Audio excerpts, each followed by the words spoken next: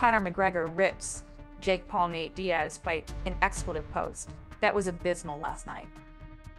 Conor McGregor expressed strong opinions about the recent fight between Jake Paul and Nate Diaz on the social media platform formerly known as Twitter.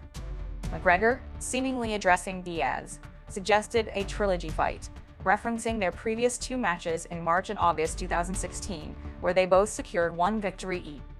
McGregor's critique extended to Paul's performance in the fight, likening it to watching a fight in rewind and comparing Paul to professional wrestling legend Jake the Snake Roberts.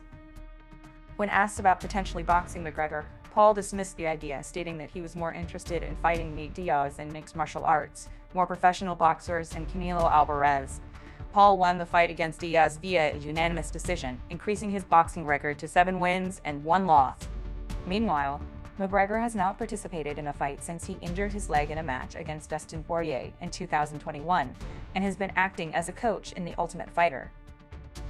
Thanks for joining us to the end as we dove into McGregor's thoughts on the Jake Paul and Nate Diaz fight.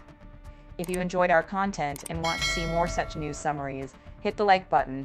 Don't forget to support us by subscribing to our channel. Your support helps us bring more such boxing insights your way.